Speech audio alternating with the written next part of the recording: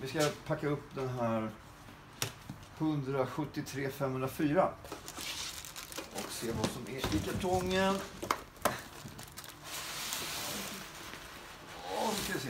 Ja, då ligger kabeln separat, så det var inga problem med det.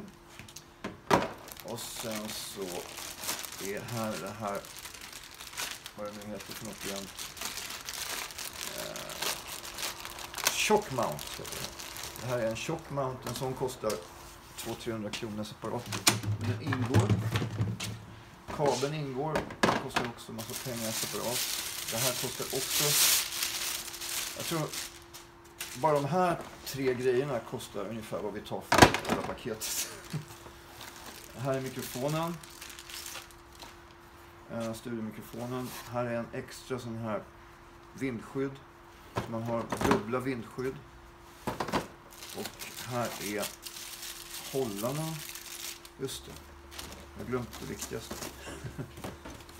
här är, ja det är dubbla kablar med, men det är tusen fantastiskt. Så det är både den kabeln och den All right. Så här är det en kabel som går inne i själva, inne i stativet. Och här är då, här är lite extra lullig. Det här är ett extra mikrofonhållare för en extra mikrofon. För den passar inte här, utan det här är till en vanlig mikrofon. Den ingår. Och sen ingår ett skrivbordsfäste.